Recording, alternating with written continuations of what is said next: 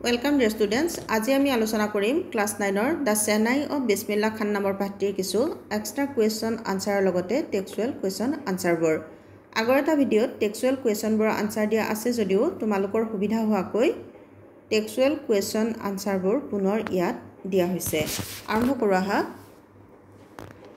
তোমালোকৰ বাবে থকা প্ৰথম প্ৰশ্নটো হৈছে who banned the playing of pungi পুংগী বজোৱাটো কোনে নিষিদ্ধ কৰিছিল answer emperor Aurangzeb banned the playing of pungi. সম্ৰাট ঔৰংজেবে পুংগী বজোৱাটো নিষিদ্ধ কৰিছিল। Question number two why did Aurangzeb ban pungi? ঔৰংজেবে কিয় পুংগী নিষিদ্ধ কৰিছিল?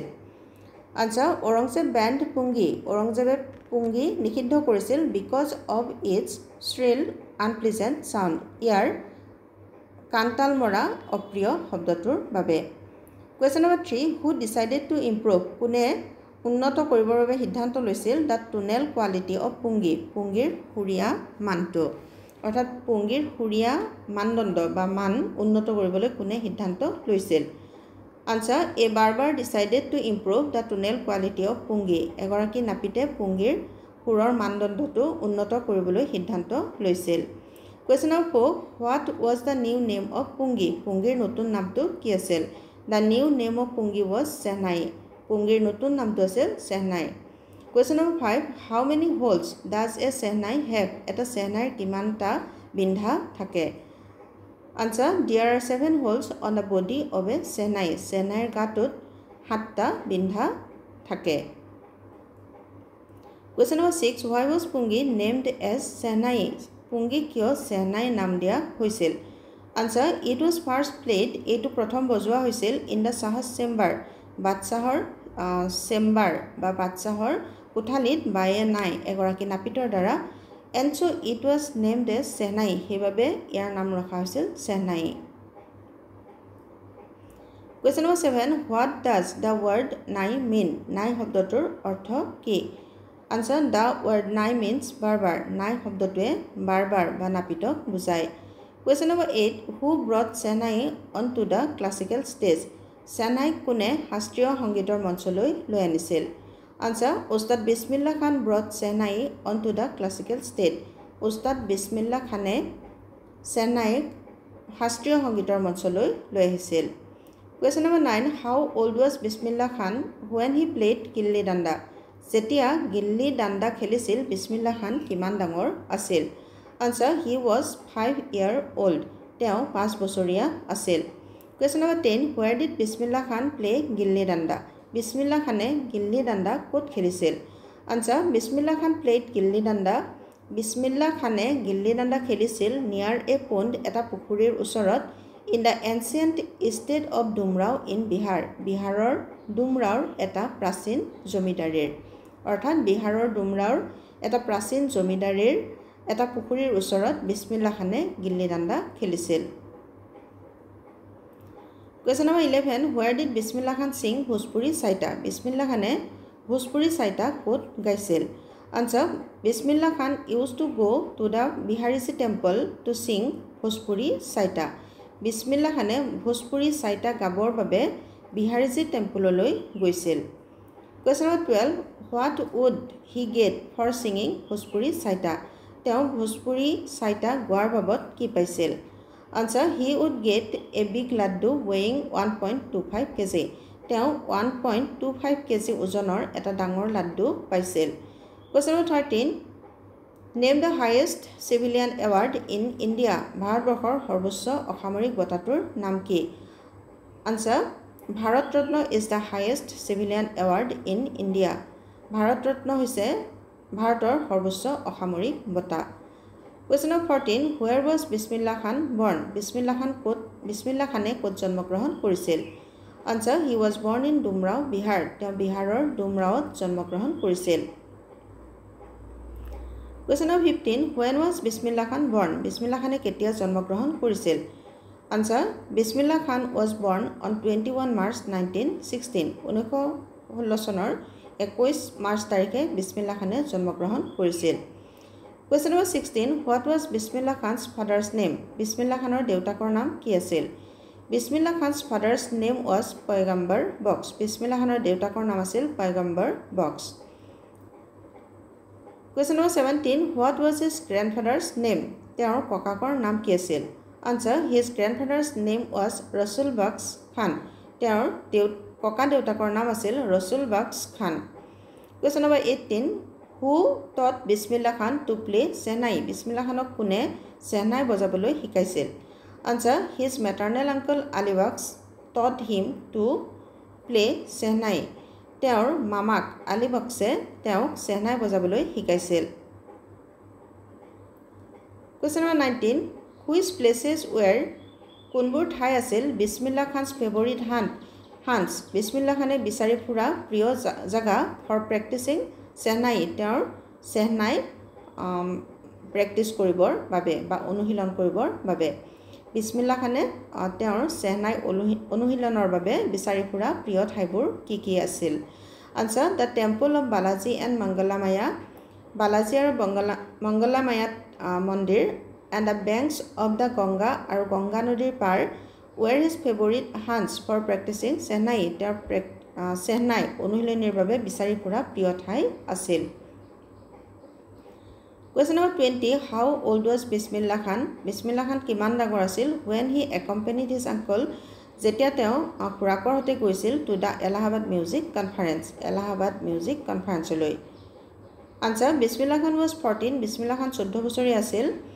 When he accompanied his uncle যেতিয়া তেওঁ খুৰাকৰ সৈতে গৈছিল to the Allahabad music conference Allahabad music কনফাৰেঞ্চলৈ question number twenty one work hard and you shall make it who said this to whom এই কথাষাৰি কোনে কাক কৈছিল? Ustad Fayaz Khan said this to Bismillah Khan. Ustad Fayaz খানে এইখিনি বিছমিল্লা খানক কৈছিল। এই কথাষাৰি বিছমিল্লা খানক কৈছিল। Question number twenty two who became the first Indian কোন প্ৰথম ভাৰতীয় হৈ পৰিছিল? টু গ্ৰীট দ্য নেশ্যন জাতিটোক সম্বোধ সম্বোধন কৰাৰ ক্ষেত্ৰত বা কৰিবলৈ on fifteen August nineteen forty seven with shehnai shehnai ঊনৈছশ সাতচল্লিছ চনৰ পোন্ধৰ আগষ্টত চেহনাই বাদন কৰি। অৰ্থাৎ ঊনৈছশ সাতচল্লিছ চনৰ পোন্ধৰ আগষ্টত চেহনাই বাদন বাদনেৰে কোনে প্ৰথম ভাৰতীয়সকলক সম্বোধন কৰিছিল বা সম্ভাষণ জনাইছিল? Answer Bismillah Khan became the first Indian. Bismillah খানে প্ৰথম ভাৰতীয় হৈ পৰিছিল to greet the nation on fifteen August nineteen forty seven with shehnai shehnai বাদনেৰে ঊনৈছশ সাতচল্লিছ চনৰ পোন্ধৰ আগষ্টত গোটেই জাতিটোক সম্ভাষণ জনোৱা জনোৱাৰ ক্ষেত্ৰত বা জনোৱা ব্যক্তিগৰাকী বিছমিল্লা খানে হৈ প্ৰথম ভাৰতীয় হৈ পৰিছিল। Question number twenty three which raag was played by Bismillah Khan on fifteen August nineteen forty seven? ঊনৈছশ সাতচল্লিছ চনৰ পোন্ধৰ আগষ্টত বিছমিল্লা খানে কোনটো raag বজাইছিল? Answer raag Kafi was played by Bismillah Khan on fifteen August nineteen forty seven from the Red Fort ঊনৈছশ সাতচল্লিছ চনৰ পোন্ধৰ আগষ্টত লালকিল্লাৰ পৰা বিছমিল্লা খানে ৰাগ Kafi বজাইছিল। Question number twenty four who gave the famous famous tryst with destiny speech কোনে বিখ্যাত? ট্ৰাইষ্ট উইথ ডেষ্টিনি নামৰ ভাষণ বা বক্তৃতাটো প্ৰদান কৰিছিল। Answer Pandit Jawahar Jawaharlal Nehru gave his famous tryst with destiny speech Pandit Jawaharlal নেহৰুৱে তেওঁৰ বিখ্যাত ট্ৰাইষ্ট উইথ ডেষ্টিনি নামৰ বক্তৃতাটো প্ৰদান কৰিছিল।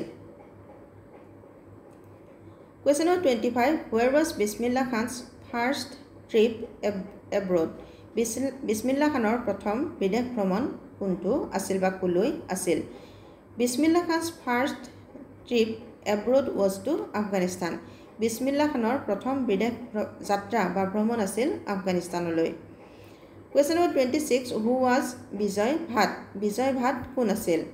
Answer Vijay Bhatt was a film director Vijay Bhatt এগৰাকী চিনেমা পৰিচালক আছিল।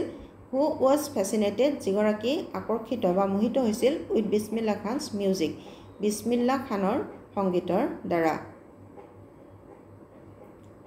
ইন হাউ মেনি ফিল্মছ কিমানখন চিনেমাত বিছমিল্লা খান কম্প'জ মিউজিক বিছমিল্লা খানে সংগীত সংযোজনা কৰিছিল? Answer he composed music for two films তেওঁ দুখন চিনেমাত সংগীত সংযোজনা কৰিছিল। Question number twenty eight name the two films দুখন চিনেমাৰ নাম দিয়া for which Bismillah Khan composed music যি দুখনত নেকি বিছমিল্লা খানে মিউজিক কম্প'জ কৰিছিল। Answer the two films are cinema দুখন হৈছে গুণ জ্যোতি চেহনাই এণ্ড চানাধি অপন্না কুঞ্জ উঠি চেহনাই আৰু চানাধি অপন্না আমাৰ এক্সট্ৰা কুৱেশ্যন আনচাৰবোৰ আলোচনা শেষ হৈছে। এইবাৰ আমি টেক্সুৱেল কুৱেশ্যন আনচাৰবোৰ আলোচনা কৰিব লৈছোঁ। আমাক এই আনচাৰবোৰ থাৰ্টিৰ পৰা ফৰ্টি ৱৰ্ডছৰ ভিতৰত দিব দিছে। আৰু সেইধৰণে কৰিবলৈ চেষ্টা কৰা হৈছে। Question number one why did Aurangzeb ban the playing of the pungi ঔৰং ঔৰংজেবে কিয় পুংগী বজোৱাটো নিষিদ্ধ কৰিছিল? Answer pungi is a musical instrument pungi হৈছে এবিধ বাদ্যযন্ত্ৰ which has a loud shrill and unpleasant sound যিটোৰ নেকি এটা ডাঙৰ কাণ্টাল মৰা আৰু অপ্ৰিয় শব্দ আছিল বা ভাল নলগা শব্দ আছিল। চ' এম্পেৰৰ ঔৰংজেব সেইবাবেই সম্ৰাট ঔৰংজেবে ban the playing of the pungi pungi বজোৱাটো নিষিদ্ধ কৰিছিল ইন দ্য ৰয়েল ৰেচিডেঞ্চ ৰাজপ্ৰসাদত এণ্ড পুংগী বিকেম আৰু পুংগী হৈ পৰিছিল দ্য জেনেৰিক নেম একেবৰ্গীয় নাম for reeded noise makers reeded noise মেকাৰ্ছবোৰৰ বাবে। অৰ্থাৎ একেবৰ্গীয় এবিধ বাদ্যযন্ত্ৰ হৈ পৰিছিল যিবিলাকে এইদৰে শব্দৰ সৃষ্টি কৰিছিল। Question number two how is a shehnai different from a pungi pungi shehnai পুংগীৰ পৰা কি কি ক্ষেত্ৰত পৃথক? অৰ্থাৎ চেহনাই আৰু পুংগীৰ মাজত কি কি পাৰ্থক্য আছে? Answer a shehnai is shehnai is different from a pungi shehnai পুংগীৰ পৰা পৃথক it is longer and broader than the pungi ই পুংগীতকৈ দীঘল আৰু বহল। It has seven holes on the body of the pipe ইয়াৰ গাটোত থকা পাইপটোত সাতটা বিন্ধা থাকে। The sound of pungi is shrill and unpleasant পুংগীৰ শব্দটো হৈছে কাণ্টাল মৰা আৰু ভাল নলগা but the sound of shehnai is soft and melodious কিন্তু চেহনাইৰ শব্দটো হৈছে কোমল বা মৃদু বা সুৰীয়া। Question number three where was the shehnai played traditionally shehnai পৰম্পৰাগতভাৱে ক'ত বজোৱা হৈছিল? How did Bismillah Khan change this আৰু বিছমিল্লা খানে এইটো কিদৰে সলনি কৰিছিল বা পৰিৱৰ্তন আনিছিল। Answer shehnai was traditionally played shehnai পৰম্পৰাগতভাৱে বজোৱা হৈছিল ইন দ্য ৰয়েল কোৰ্টছ ৰাজপ্ৰসাদত ইন দ্য টেম্পলছ মন্দিৰত এণ্ড ইন নৰ্থ ইণ্ডিয়ান ৱেডিং আৰু উত্তৰ ভাৰতৰ বিবাহ অনুষ্ঠানত। বিছমিল্লা খান ব্ৰড দিছ ইনষ্ট্ৰুমেণ্ট বিছমিল্লা খানে এই বাদ্যযন্ত্ৰটো লৈ আনিছিল on to the classical stage শাস্ত্ৰীয় সংগীতৰ মঞ্চলৈ and thus he change the tradition আৰু এইদৰে তেওঁ পৰম্পৰাটো সলনি কৰিছিল। Question number four when and how কেতিয়া আৰু কেনেকৈ did Bismillah Khan get his big break Bismillah খানে তেওঁৰ জীৱনৰ ডাঙৰ সুযোগটো পাইছিল। Answer Bismillah Khan got his big break in nineteen thirty eight Bismillah খানে তেওঁৰ জীৱনৰ ডাঙৰ সুযোগটো পাইছিল ঊনৈছশ আঠত্ৰিছ চনত with the opening of the All India Radio' in Lucknow. লক্ষ্ণৌত অল ইণ্ডিয়া ৰেডিঅ' যেতিয়া অ'পেনিং কৰা হৈছিল। He soon became an often heard shehnai player on radio' তেওঁ সোনকালে ৰেডিঅ'ত প্ৰায়ে চেহনাই বাদন কৰা অৰ্থাৎ যাৰ নেকি চেহনাই বাদন প্ৰায়ে শুনিব পোৱা গৈছিল। Who has given many memorable performances যিয়ে নেকি বহুতো স্মৰণীয় পাৰফৰ্মেঞ্চ কৰিছিল বা প্ৰদৰ্শন কৰিছিল both in India and abroad Bharat আৰু বিদেশ উভয়তে। অৰ্থাৎ লক্ষ্ণৌত যেতিয়া অল ইণ্ডিয়া ৰেডিঅ' অ'পেনিং কৰা হৈছিল তেতিয়াই তেওঁৰ জীৱনলৈ ডাঙৰ সুযোগ এটা আহিছিল আৰু তেওঁৰ চেহনাই বাদনটো মানুহে প্ৰায়ে ৰেডিঅ'ত শুনিবলৈ পাইছিল। যিগৰাকী ব্যক্তিয়ে নেকি ভাৰতৰ লগতে বিদেশতো চেহনাই বাদন কৰিছিল। Question number five where did Bismillah Khan play the shehnai on fifteen August nineteen forty seven ঊনৈছশ সাতচল্লিছ চনৰ পোন্ধৰ আগষ্টত বিছমিল্লা খানে ক'ত চেহনাই বাদন কৰিছিল? Why was was the event historic আৰু এই ঘটনাটো কিয় ঐতিহাসিক? Answer Bismillah Khan played the shehnai on fifteen August nineteen forty seven at the Red Fort Bismillah খানে ঊনৈছশ সাতচল্লিছ চনৰ পোন্ধৰ আগষ্টত ৰেড ফৰ্টত বা লালকিল্লাত চেন্নাই বাদন কৰিছিল টু গ্ৰীট দ্য নেশ্যন গোটেই জাতিটোক অৰ্থাৎ ভাৰতীয়সকলক সম্ভাষণ জনাবৰ বাবে। দ্য ইভেণ্ট ৱাজ হিষ্ট্ৰিক আৰু এই ঘটনাটো ঐতিহাসিক আছিল বিকজ কাৰণ he played shehnai from the Red Fort. তেওঁ ৰেড ফৰ্টৰ পৰা চেন্নাই বাদন কৰিছিল টু এন অডিয়েঞ্চ দৰ্শকসকলৰ বাবে হুইচ ইনক্লুডেড পণ্ডিত জৱাহৰলাল নেহেৰু য'ত নেকি পণ্ডিত জৱাহৰলাল নেহেৰু অন্তৰ্ভুক্ত আছিল অৰ্থাৎ যিসকল দৰ্শকৰ লগত পণ্ডিত জৱাহৰলাল নেহেৰুও আছিল। Question number six why did Bismillah Khan refuse কিয় বিছমিল্লা খানে অস্বীকাৰ কৰিছিল? To start a shehnai school এখন চেহনাই স্কুল আৰম্ভ কৰিবলৈ in the U S A U S এত answer Bismillah Khan refuse to start a shehnai school in the U S A Bismillah খানে U S এত চেহনাই স্কুল এখন আৰম্ভ কৰিবলৈ অস্বীকাৰ কৰিছিল। বিকজ কাৰণ he loved India very much তেওঁ ভাৰতবৰ্ষক বহুত বেছি ভাল পাইছিল। And he was fond of Dumraon Benaras and holy Ganga আৰু তেওঁ ডুমৰাও বেনাৰস আৰু হলি গংগা তেওঁৰ ইমান প্ৰিয় আছিল ডেট যে he wouldn't live away from this তেওঁ এইবোৰৰ পৰা আঁতৰি থকা ফ্ৰম দিছ প্লেচেছ এই ঠাইবোৰৰ পৰা আঁতৰি থাকিব আঁতৰি থকাৰ কথা ভাবিব পৰা নাছিল বা আঁতৰি থাকিব নোৱাৰিছিল। Question number seven find at least two instances in the text which tell you that Bismillah Khan loves India and Benaras Bismillah খানে যে ভাৰতবৰ্ষ আৰু বেনাৰসক ভাল পায় তাৰে দুটা ঘটনা বা কথা উল্লেখ কৰিব দিয়া হৈছে। Answer the two instances are আৰু এই দুটা উদাহৰণ বা ঘটনা হৈছে উদাহৰণ হৈছে Bismillah Khan loves India for which. Bismillah খানে ভাৰতবৰ্ষক ভাল পাইছিল যাৰ বাবে he refuse to start a shehnai school in the U S A U S এত তেওঁ তেওঁ এখন চেহনাই স্কুল আৰম্ভ কৰিবলৈ অস্বীকাৰ কৰিছিল। বি হি চেজ ডেট তেওঁ কৈ কয় যে whenever he is in a foreign country যেতিয়া তেওঁ এখন বিদে তেওঁ বিদেশত থাকে he keeps yearning to see Hindustan তেওঁ ভাৰতবৰ্ষ বা হিন্দুস্তানক চাবৰ বাবে আঁতোৰ হৈ থাকে। অৰ্থাৎ এই দুটা ইনষ্টেঞ্চেছৰ পৰাই আমি গম পাওঁ যে বিছমিল্লা খানে ভাৰতবৰ্ষক কিমান ভাল পাইছিল। মৰমৰ ছাত্ৰ ছাত্ৰীসকল আমাৰ ভিডিঅ'টো ইমানতে শেষ হৈছে। আশা কৰোঁ তোমালোক উপকৃত হ'বা। ধন্যবাদ।